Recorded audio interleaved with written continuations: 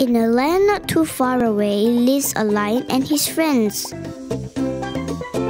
One day, while Lion was playing with his friends, he saw Rabbit was being bullied by a school of crabs. Lion went over to Rabbit and gave a loud roar. All the crabs were frightened and left. Lion asked Rabbit, Would you join us for a happy time at Nohoo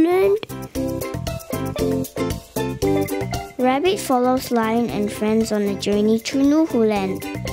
They passed by the great forest and saw many butterflies dancing, monkeys playing around, and ducks quacking. They passed the great ocean and saw elephants and penguins talking to each other. Sharks, whales, and mermaids were all swimming together. Lion decided to go for a swim with his friends in the great ocean. Finally, they reached the great island. They saw dinosaurs roaming around. They were all very happy and Lion said, Let's take a picture together. That's the end of the story.